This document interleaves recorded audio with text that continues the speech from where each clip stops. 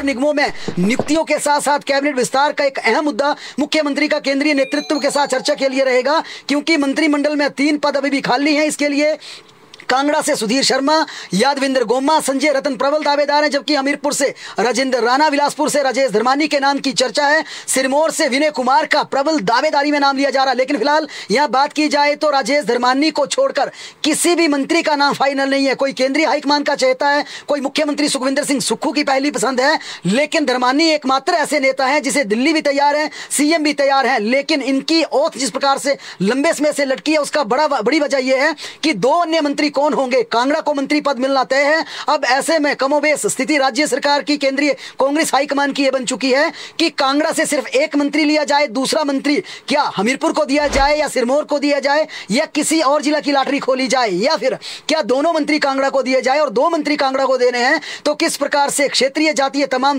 संतुलनों को साधा जाए? क्योंकि यहाँ पर यह देखना काफ़ी रोचक होगा कि अगर कैबिनेट का विस्तार होता है तो मंत्रियों के विभागों में भी फेरबदल होगा। यानी कि ओवरऑल रिशफलिंग यहाँ पर सरकार की होगी। मुख्यमंत्री सुखविंदर सिंह सुक्खू पहले ये मन बना चुके हैं कि उन्होंने छह महीने का वक्त अपनी कैबिनेट को दिया, मंत्रियों की परफॉर्मेंस देखी और इस आधार पर अब मंत्रियों के विभाग भी बदलेंगे। यानी कि यहाँ पर अगर कैबिनेट का एक्सपेंशन होता है रिशफलिंग डिपार्टमेंट पोर्टफोलियो को लेकर भी होगी। कुछ मंत्रियों को महत्वपूर्ण विभाग दिए गए उनसे बड़े विभाग वापिस लिए जा सकते हैं, उन्हें दूसरे विभाग दिए जा सकते हैं। हैं या परफॉर्मेंस के आधार पर कुछ मंत्रियों को भारी भरकम डिपार्टमेंट पोर्टफोलियो भी यहाँ पर दिए जाने की प्लानिंग है। लेकिन अब देखने वाली बात यह है क्या सही मायने में अब सीएम सुक्खू का यह दिल्ली दौरा वापसी पर मंत्रिमंडल का विस्तार इस मानसून सत्र से पहले होगा या फिर आश्वासन ही आश्वासन रहेगा और लंबा इंतज़ार करना पड़ेगा?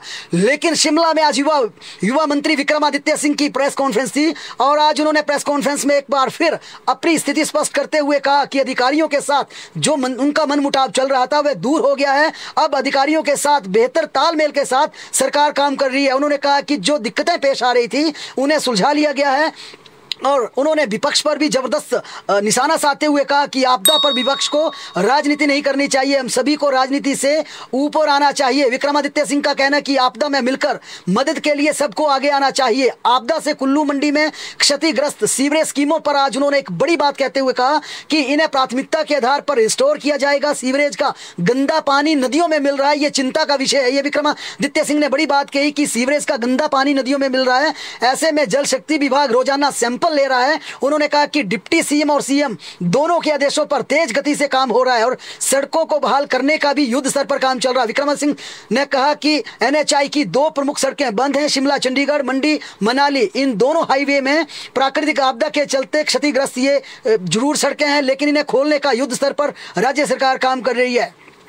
आज बेरोजगार शारीरिक शिक्षकों ने शिमला में धरना दिया और इस धरने के दौरान उन्होंने राज्य सरकार को एक माह का अल्टीमेटम देते हुए रिज़ल्ट घोषित करने की यहाँ पर गुहार लगाई और कहा कि अगर रिज़ल्ट घोषित नहीं हुआ तो अनशन पर बैठेंगे। आज उपायुक्त कार्यालय शिमला के बाहर बेरोजगार, डटे रहे युवाओं का आरोप है कि पचास साल की उम्र हो गई है। दो हज़ार एक सौ पचास शारीरिक शिक्षकों के पद स्कूलों में खाली है। बावजूद इसके भर्ती नहीं हो पा रही है। छात्रों के वेकेशन पढ़ाई का आंकलन यहाँ पर शुरू हो गया। पिछले कल हमने विस्तार से बताया था शिक्षा विभाग ने छात्रों को होमवर्क न होमवर्क के साथ खेल खेल में इवेलुएट करने के लिए कहा है। छात्रों पर होमवर्क का दबाव न डालने के भी एजुकेशन डिपार्टमेंट को निर्देश जारी किए हैं और अपने पारित आदेशों में कहा है कि पढ़ाई में कमज़ोर, होशियार छात्रों की पहचान करनी होगी। होमवर्क न करने वाले छात्रों को दंडित न किया जाए, डांटा न जाए। ज़ाहिर तौर पर हिमाचल प्रदेश में कई जगह बतालीस दिन बाद स्कूल खुले हैं। कई क्षेत्रों में दो हफ़्ते तक स्कूल बंद रहे हैं। चूँकि अब इतने लंबे समय के बाद स्कूलों में हाजिरी शुरू हुई है तो होमवर्क को लेकर टीचर्स को जिस प्रकार की डायरेक्शन दी गई थी। अब उसमें ये नए निर्देश दिए हैं कि किसी को होमवर्क के लिए दंडित न किया जाए। जेबीटी की बैच बाइज भर्ती को लेकर यहाँ पर बदलाव हुआ है। अब जिला उप निदेशक स्तर पर जेबीटी की भर्ती की जाएगी और भर्तियों में हो रही धांधली को लेकर प्रारंभिक शिक्षा विभाग ने यह बड़ा फैसला लिया है। प्रारंभिक शिक्षा निदेशालय में भर्तियों की वेरिफिकेशन एडिशनल डायरेक्टर की अध्यक्षता में गठित कमेटी कर रही है। शिक्षा विभाग के चार और अफसर इस कमेटी में शामिल किए गए हैं। बता दें कि सरकार ने बैच बाइज भर्ती के आदेश दिए थे और इन बैच बाइज भर्तियों का प्रोसेस शुरू हो गया है। जेवीटी के 500 से ज़्यादा पद बैच वाइज भरे जाने हैं। जेवीटी भर्ती में जेवीटी और बीएड दोनों को फ़िलहाल यहाँ पर मौका दिया गया है, लेकिन क्या यहाँ पर बीएड वाले बने रहेंगे या बाहर जाएँगे, ये सुप्रीम कोर्ट के आउटकम्स यानी कि अंतिम फैसला आने के बाद डिसाइड होगा। बहरहाल, एनटीटी भर्ती को लेकर सुप्रीम कोर्ट में महत्वपूर्ण सुनवाई है। हालाँकि यह मामला हिमाचल प्रदेश से जुड़ा नहीं है, लेकिन एनटीटी की भर्ती को लेकर जिस प्रकार से कई राज्यों में दिक्कतें आ रही हैं, बाहरी राज्यों का एक केस सुप्रीम कोर्ट में लगा सुनवाई होगी। ऐसे में अगर कल कोई बड़ा फैसला एनटीटी भर्ती पर सुप्रीम कोर्ट से आता है, आदेश पारित होता है। तो ज़ाहिर तौर पर इसका सीधा सीधा असर हिमाचल प्रदेश जाए तो फ़िलहाल ये फैसला राज्य सरकार ने रोक दिया है। भर्ती नियमों में बदलाव के फैसले को को लेकर सरकार ने जिस प्रकार से 13 अप्रैल की कैबिनेट में आदेश पारित किया था कि अब निकट भविष्य में हिमाचल प्रदेश में जितने भी सरकारी विभागों में भर्तियाँ होंगी, फिक्स अमाउंट पर की जाएगी, यानी कि कॉन्ट्रेक्चुअल को यहाँ पर समाप्त करने की कवाई चल रही थी। सिक्सटी की रेसो से जिस प्रकार पहले दो साल वेतन देने का प्रावधान था, उस उसे लेकर 13 अप्रैल की कैबिनेट में यह फैसला पारित हुआ था लेकिन